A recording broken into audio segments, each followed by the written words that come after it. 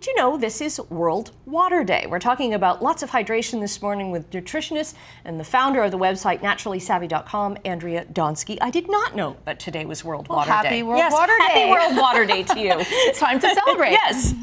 if only it were it were warm enough to oh rain my gosh, today. I know. It I feels it's so, so cold today. Anyways, we're going to warm up with some great ideas here. Yes. Let's turn to ice to begin with. Right. So we, you know, getting our six to eight glasses of water a day can be tough, right? Mm-hmm. So, but hydration is so important for us. It helps our energy levels and also our mental acuity. So I'm going to share some tips of how we can get water into our day easily and Easy, nutritiously. right. So start with some ice cubes. Super fun to do. It's like hydration popsicles. Mm-hmm. My kids love helping me do it. You cut up some fruits, put in some strawberries, some mint some fresh herbs, as you can see on the table, freeze them, and then you have these beautiful looking ice cubes that you can throw in your water bottle or serve to your guests when they come over. Right. And sometimes just having that added taste, that added little bit of flavor Absolutely. makes drinking a full glass of water so much easier. It right? goes down so much yes. better. Yes.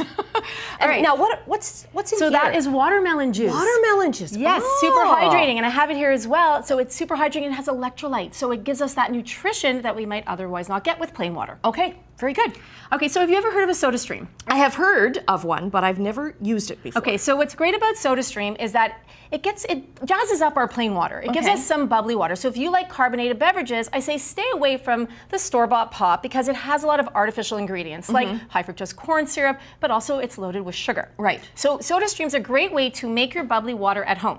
So all you need to do is you press the top down and it carbonates it for you. So, you press So this is just regular tap regular water. tap water or filtered water, and you literally press it down, and it carbonates you in the com- And it tells you exactly uh, when to stop. There you go. You see? It takes about three I made it all by myself. I love it. So it takes about three seconds, and then what you can do is create these fun mocktails.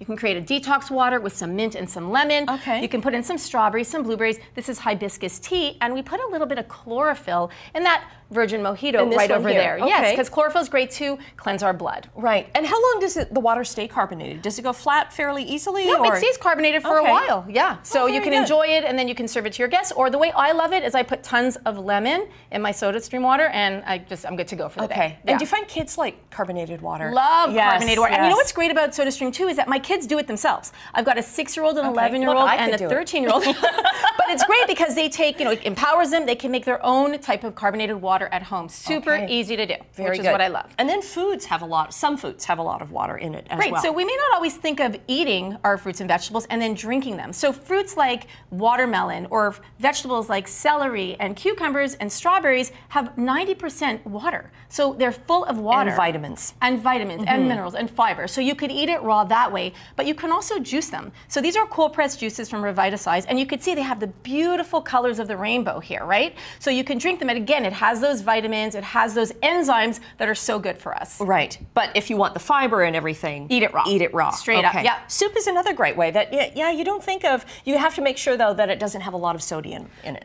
That's right. So this is butternut squash soup, exactly, and it's so cold, like we were just talking about. So a great way to get our water and hydration is to eat soup. You can use leftover vegetables and anything you have in your fridge from the night before. Throw in some water, and then you've got an amazing, amazing all-in-one Very meal. inexpensive too, right? Very Cost inexpensive, effective. and you can control how much sugar or so- sodium that you add to the actual right. meal. So We've got about a minute way left. to do it. Tea is another great one. It's my favorite. Oh my gosh, I love tea. So a great way to do to use tea is to make a big pitcher and you can leave it in the fridge for the week. Again, great for kids so that they're not reaching for that sugary those sugary mm-hmm. drinks.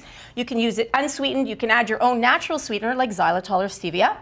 This is from Bigelow, and what I love about it is they just launched their benefits line, meaning that they have ingredients that help our health. Cinnamon for blood sugar control, Okay. echinacea for. Dandelion I see in there. Exactly, Yeah. great for our liver. So these are amazing ways to drink our cup of tea, stay hydrated, but also enjoy health benefits at the same time. Okay, we've got about 30 seconds left. How do you know that you're getting enough water? Well, it's very important. So there are so many side effects when you don't get enough water. You can get headaches, right? You can Lethargic. feel feeling really Yeah. tired is another one. You you know, you just might not be right on, like your brain not be functioning the way it normally functions. So those are symptoms that you know, and also you're thirsty, right? Right. So if your body's telling you, "Hey, I need more water, And by the time you're thirsty, they say you're already too late. Exactly. So, and very important, we want to get half our weight in ounces a day in water, okay. and that's the key. Good stuff. We'll get the key up to your website on you. chch.com a little bit later this morning. Thanks, Andrea. Thank and happy you. Water Day. Happy Water Day.